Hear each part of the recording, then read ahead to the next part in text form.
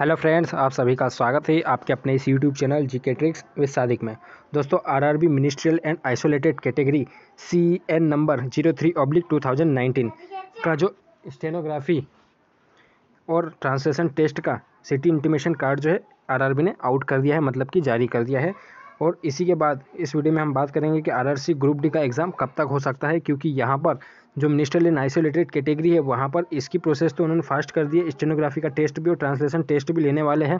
उसी के बाद ग्रुप डी का एग्ज़ाम कब होगा तो इससे रिलेटेड भी हम बात करेंगे, क्योंकि अभी तक के कोई भी ऑफिशियल कुछ भी इसके रिगार्डिंग कोई अपडेट नहीं आई है तो कब तक इसका एग्ज़ाम हो सकता है, इसके बारे में हम इस वीडियो में बात करेंगे। तो चलिए दोस्तों, हम देख लेते हैं कि आपको C N number zero three oblique two thousand nineteen मतलब मिनिस्ट्रियल एंड आइसोलेटेड कैटेगरी का स्टेनोग्राफी एंड ट्रांसलेशन टेस्ट का सिटी इंटीमेशन आप कैसे चेक करते हैं? तो चलिए दोस्तों वीडियो को हम शुरू करते हैं। इससे पहले जो चैनल पर नए प्लीज़ चैनल को सब्सक्राइब ज़रूर कीजिएगा और इस वीडियो को आखिर तक ज़रूर देखिएगा। दोस्तों के साथ इस वीडियो को ज़्यादा से ज़्यादा शेयर कीजिएगा। तो चलिए दोस्तों वीडियो को शुरू करते हैं।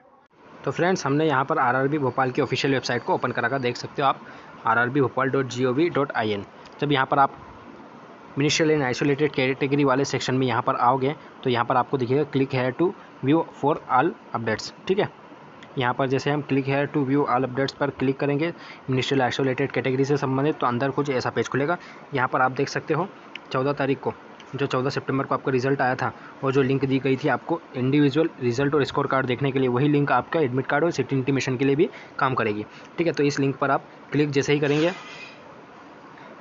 तो यहाँ पर आप देख सकते हो railway recruitment board CBT for centralise employment notice number zero three oblique two thousand nineteen ministerial and isolated categories के लिए। ठीक है? यहाँ पर आप देख सकते हो candidate login login to view city slip for second stage stenography translation test login to view short listing state score card and question paper for stenography skill test translation test performance and teaching skill test यहाँ पर आपका score card तो आपको पिछली बार जब आपका result आया था, तभी आपको बता दिया गया था मतलब दिख गया था। उसके बाद अब जो है, आज इन्होंने जो है अपडेट करके इसके सिटी स्लिप के लिए लॉगिन करने के लिए यहाँ पर बोल दिया है, ठीक है? तो यहाँ पर आपको कैसे लॉगिन करना है? तो यहाँ पर आपको रोल नंबर डालना पड़ेगा। यहाँ पर आपको डेट ऑफ़ बर्थ डालना पड़ेगा D D M M Y Y के फॉर्मेट में। उसके बाद यहाँ पर आप नीचे आओगे तो यहाँ पर आपको अपना रजिस्ट्रेशन नंबर डालना है।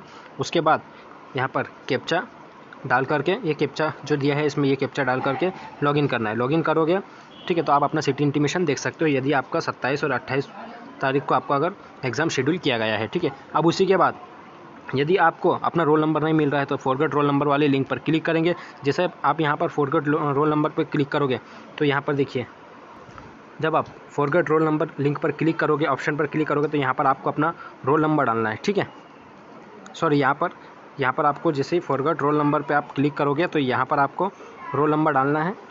ठीक है, जैसे रोल नंबर फॉरगेट पर क्लिक करोगे तो यहाँ पर आपका जो रजिस्टर्ड ईमेल आईडी ठीक है, आपने जो फॉर्म भरते टाइम जो ईमेल आईडी जो दिया था रजिस्ट्रेशन जिस पर किया था, ठीक है, जिस ईमेल आईडी के थ्रू वो ईमेल आईडी डालना है, और आपका जो रजिस्टर्ड मोबाइल नंबर है, उसको यहाँ पर आपको डालना है। उसके बाद ये कैप्चा डाल करके आपको नीचे गेट रोल नंबर पर क्लिक कर देना है, ठीक है। जब आपको रोल नंबर प्रोवाइड हो जाएगा मैसेज के थ्रू या आईडी के थ्रू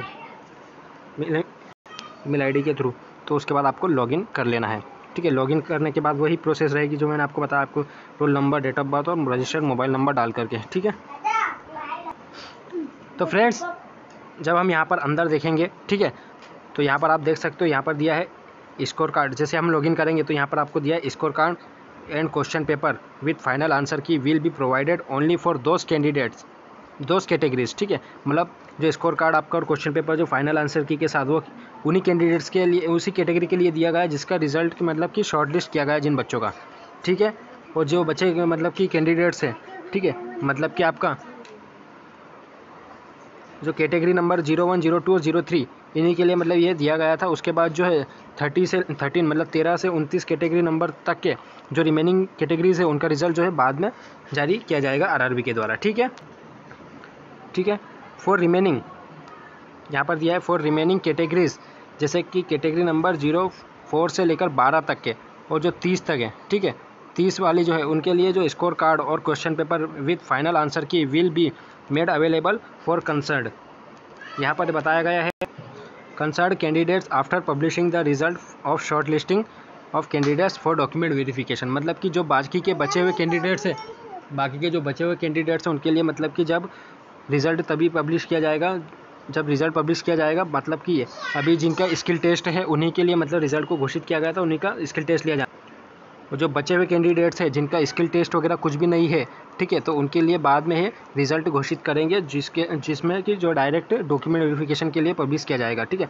अब यहाँ पर जो एक मेन कारण दिया गया दोस्तों, यहाँ पर बहुत विचार वाली विचार वाली बात है कि city slip intimation for skill test for centralise employment notice number zero three oblique two thousand nineteen मतलब एम आई कैटेगरी वालों के लिए is live for R R B Mumbai zone only यहाँ पर अभी सिर्फ़ Mumbai zone R R B Mumbai के लिए ही स्किल टेस्ट के लिए सिटी इंटीमेशन दिया गया मतलब कि for rest all R R Bs live date and time will be intimated soon मतलब कि जो बचे हुए आरआरबी है, जैसे इलाहाबाद, अजमेर, भुवनेश्वर मतलब मुंबई जोन को छोड़ करके जितने भी आरआरबी है, सभी के लिए जो बचे कुछ आरआरबीज हैं, उनके लिए जो है सिटी इंटीमेशन और डेट टाइम वगैरह जो है जल्दी ही इंटीमेट किया जाएगा आरआरबी के द्वारा।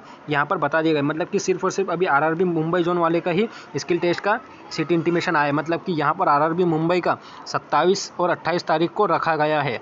इसके अकॉर्डिंग अगर देखा जाए तो सिर्फ़ सत्ताईस, अभी सिर्फ़ मुंबई का ही सत्ताईस, अट्ठाईस तारीख को रखा गया बाकी आरआरबी के जो कैंडिडेट्स हैं, उनके लिए जो है एक से दो दिन में या दो से तीन दिन में आपको सिटी इंटीमेशन स्लिप मिल जाएगी। जैसे कि यहाँ पर आरआरबी सिकंदराबाद का उनतीस और तीस को दिया गया है। इसी प्रकार से यहाँ पर सत्ताईस और अट्ठाईस को आरआरबी मुंबई का दिया गया है। तो यहाँ पर उम्मीद करते हैं कि जल्दी ही आरआरबी सिटी इंटीमेशन, बाकी आरआरबी इसका भी जारी कर देगा। अब यहीं पर हम बात कर लेते हैं कि जो RRC group D exam date कब तक रिलीज़ हो सकती है। तो देखिए दोस्तों, अभी तक कितने ही बच्चों के द्वारा कितने ही ट्विटर कैंपेन चलाए गए हैं आर में कितने ही मेल किए गए हैं कॉल किए गए हैं, परंतु एक ही जवाब मिलता है कि आप ऑफिशियल वेबसाइट को देखते रहिए, वहाँ पर आपको जानकारी मिलेगी। तो ये इतना सारा कुछ होने के बावजूद भी कुछ इंटीमेशन वगैरह नहीं मिल रहा है तो अब यहाँ पर एक बात आ चुकी है कि जैसा कि नवीन सर और बाकी यूट्यूबर्स और टीचर्स के द्वारा एक डिसाइड किया गया था कि दुर्गा पूजा के बाद फ़िज़िकल प्रोटेस्ट का निर्णय लिया जाएगा। तो यहाँ पर दुर्गा पूजा के बाद मतलब दुर्गा पूजा भी हो चुकी है तो यहाँ पर आप ये मान के चलिए कि आप जल्दी ही फ़िज़िकल प्रोटेस्ट यहाँ पर होने वाली है रेलवे एस्पिरेंट ग्रुप डी के कैंडिडेट्स के लिए। ठीक है तो जब भी ग्रुप डी एग्ज़ाम से रिलेटेड फ़िज़िकल प्रोटेस्ट अगर होगी तो आपको हमारे चैनल पर बता दिया जाएगा। सारे यूट्यूबर्स और जितने भी टीचर्स हैं, उनके द्वारा जो भी डेट डिसाइड और प्लेस डिसाइड किया जाएगा, वो आपको इंटीमेट कर दिया जाएगा। तो आपसे निवेदन है कि सारे कैंडिडेट्स वहाँ पर फ़िज़िकल प्रोटेस्ट में शामिल हो, ताकि रेलवे पर थोड़ा दबाव बने और वो जल्दी से ही आर ग्रुप डी की एग्ज़ाम डेट जारी करें। तो चलिए दोस्तों रखते हैं इस, इतने, इस वीडियो में इतना ही रखते हैं। अपना ख्याल रखिए। नेक्स्ट वीडियो में मिल जाए तब तक के लिए अपना ख्याल रखिए। Okay bye